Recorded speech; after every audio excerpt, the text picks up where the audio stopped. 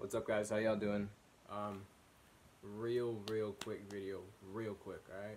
So, I forgot to add two things to my regiment last time. Um, some homies brought it up in the comments, and um, besides finasteride, besides testing RU858, RU588 for one of my research subjects, besides microneedling, besides all the healthy shit I'm doing, I'm also going to be using Stemoxydine in the form of Serioxyl from L'Oreal, and I'll also be um, using like that as a topical finasteride too. So like combining and mixing um, some finasteride pills in there. So literally like a topical finasteride, a growth stimulant, RU588 for one of my research subjects, DHT black, being black from the inside with finasteride, uh, microneedling for circulation and um, all that stuff it does and uh, yeah, definitely needed to let y'all know I'm doing that stuff too, because um, this this regimen is not complete without some type of growth stimulant. Um, some homie put it in the comment. It's right. So Serioxyl or Stemoxydine um, is a growth stimulant that your hair does not get dependent on.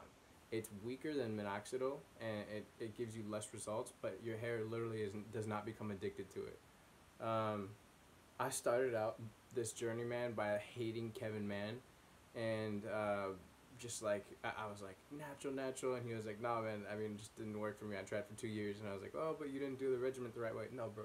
All right, go listen to this guy. He knows what the hell he's talking about. Go get informed on these chemicals.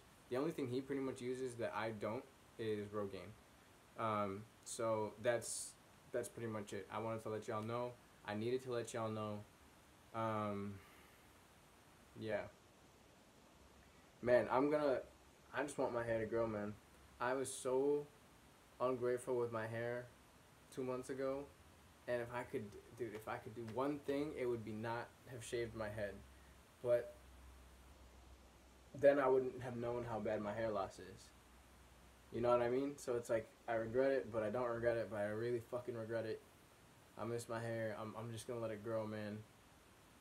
And when I say I'm gonna wear a hat, I mean like one of those like um, like those soft hats, you know, like not not like a hard baseball cap that's like tight on your head and shit, um, but like just like a like a beanie type shit.